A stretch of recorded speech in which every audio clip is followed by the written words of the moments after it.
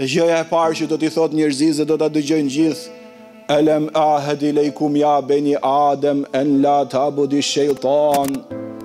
O bijtë e Ademit, a nuk ju kisha thënë juve mos adhuroni shejtanin, wa eni abuduni hadha siratun mustaqim. Këto ajete i gjeni në zemrën e Kur'anit, suren Yasin. Tha o njerëzit e mi ju pata paralajmëruar në dynja mos adhuroni shejtanin e mallkun.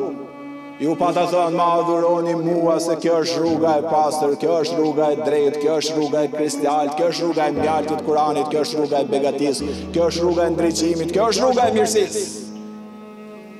Por disa nga njerëzit hasha lillah e lanë të madhin që i krijoi zot, e lanë rrugën e mbarë, E lanë rrugën e mirë dhe e krijuan bindjen, një model të keq dhe thanë po s'mashtrove s'ecën në jetë, po s'intrigove s't'bëhet mbarë, po s'u bëre i keq, je budalla, po s'ece në rrugën e shejtanit mallkun nuk çan kurrë me shku përpara dhe i harrun perlat e Islamit që thonë po ece drejt do të begatojë Zoti në mënyrë graduale, po ece drejt ti e ke xhennet shpirtin, Po ece drejt asi s'të harron zoti, po ece drejt dhe u bëre i mirë të ka begatu në këtë botë dhe në botën tjetër. Kjo është përplasja e kuptimeve ideologjike që ne do të ngulim këmbë që e sakta dhe e drejta dhe e bukra dhe e mira është kjo që thotë zoti i gjithësisë në kuran dhe jo ajo që mashtron shejtani mallkun.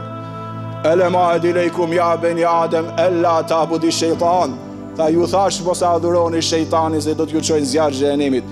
Më adhuroni mua, kjo është rruga e drejtë. Vëllezër, motra të nderuara, larg të mallkuarit, afër të gjithë mëshirshmit. Larg errësirave të tij, afër të madhit Zot i qofshim fal.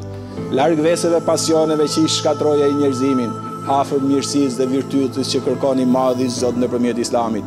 Do ta arrijmë begatinë e kësaj bote, do të na mbulojë Zoti i gjithësisë me dritën e tij, do të na japë xhennet në shpirtin dhe në zemrën tonë e do të na çojë në xhennetin e vërtetë të përjetshëm që do të hyjnë besimtarët e devotshëm dhe besimtaret e ndershme. Amin i madhi Zot na bëftë nga banorët e xhennetit.